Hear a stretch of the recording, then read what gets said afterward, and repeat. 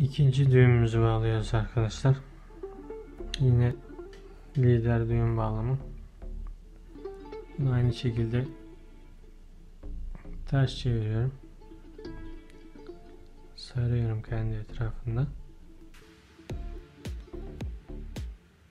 Bunda biraz daha fazla sarabiliyoruz arkadaşlar. Bu biraz daha değişik bir düğüm.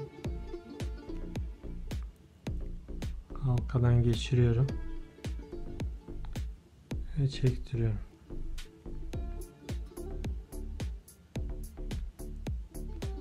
Şu şekilde oluşturdum arkadaşlar.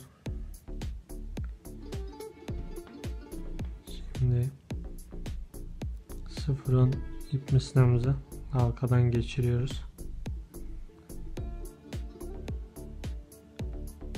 Bunu bunun etrafında doluyoruz arkadaşlar.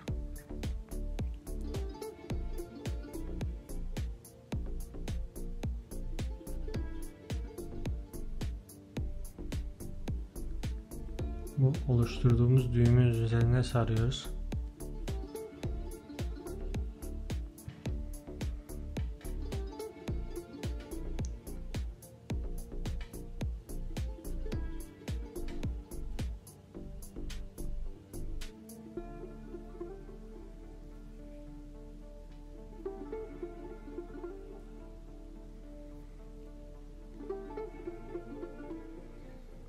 Bunu sardıktan sonra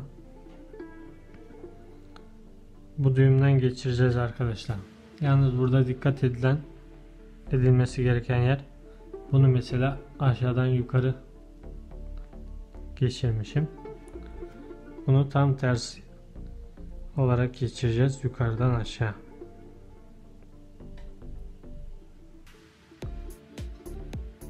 Şu şekilde. Buradan üçünü, buradan da tekini tutup çekiyorum. Biraz oturduktan sonra bu sefer naylon misinayı çekiyorum. İyice oturtturuyorum. Ve yine beraber çekiyorum arkadaşlar.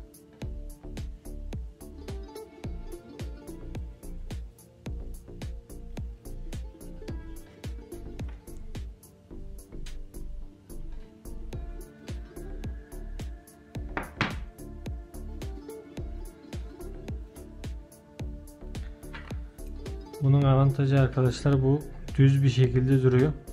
Atış yaparken önce bu taraf yüzükten geçtiği için böyle. Bunun biraz uzun bıraksak da yüzeye takılma riski daha az. Öbüründe yanda duruyor.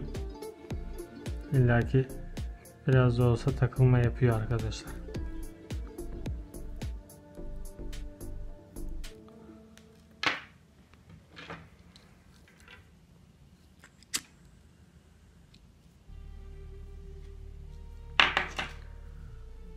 Bunun düğümümüz bu şekilde çıkıyor arkadaşlar.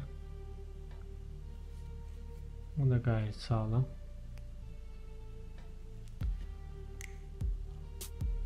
Bu şekilde lider yaparak kullanabilirsiniz. Mesela bu liderler 60 santim bırakıyoruz arkadaşlar bu liderleri.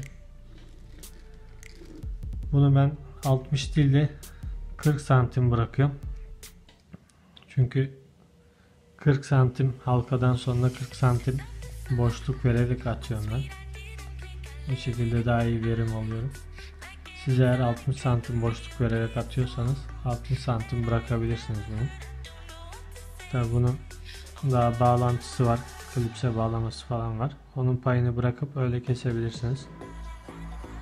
Bu şekilde güzel avlar yapabilirsiniz arkadaşlar. Naylon misina esneme payı bol. Şu an benim kullandığım misina. Bu fluorokarbondan çok sert olanları da var arkadaşlar. Biraz yumuşak olanları da var.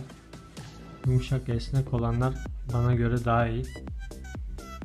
Çünkü ipin sertliğiyle bunun yumuşak olması bir nebze ipin sertliğini alıyor.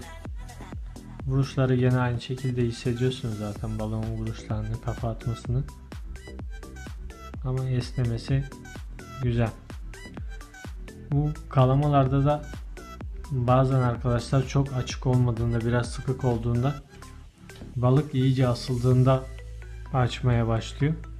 Yani o asıldığında ve de sert bir kafa attığında asılıp o anki esnemeleri alması lazım. Yoksa çat diye gitmişseniz kopar arkadaşlar.